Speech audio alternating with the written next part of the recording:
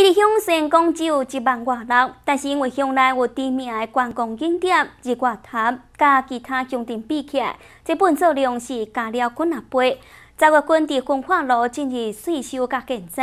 伊伫乡已经囤积了六七百吨的本数量。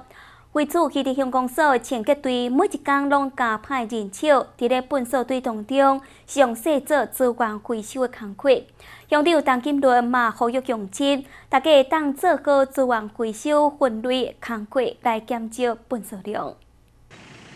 基地乡清洁队员手提夹仔甲刀仔，在粪扫站坑场中破地啊，来找出会当回收的物品，希望就此将基地乡需要再送到焚化炉的粪扫量降降上低。因为为十月份的焚化炉税收开始较大，基地乡已经囤积了六七百吨的粪扫量。乡长陈金伦也专工前来了解情形，看到对个拿山的景象，是真不足，表达忧心。啊，尤其是咱基地乡有日月潭、九族、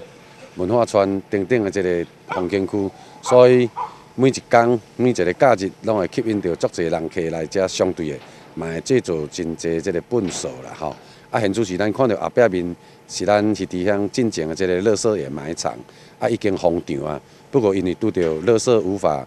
外运，啊，所以暂时伫遮堆置。啊，当然伫堆置的过程当中，我嘛会做好着消毒，啊，甲气味降低的即个动作，啊，甚至咧。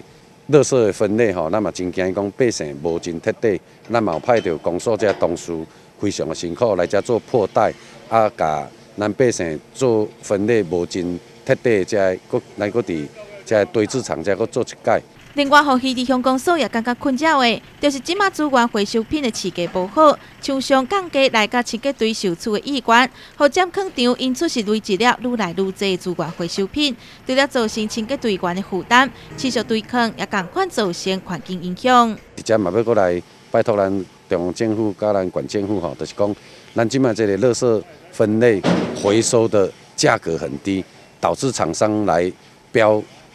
取得意愿也很相对的降低，那我们公所就面对了一般的垃圾堆置，包括我们回收的垃圾也要堆置，所以造成我们空间使用的压缩哈。这两个问题也期待说，在最近我们中央跟政府、县政府能够一一并重视、一并解决。每半年就要中央本所囤积的状况，已经成为南投县各乡镇市清洁队员的噩梦。只希望中央政府会当赶紧找出解决方案，好等乡镇面对着本所问题一再来伤脑筋。记者金山采访报道。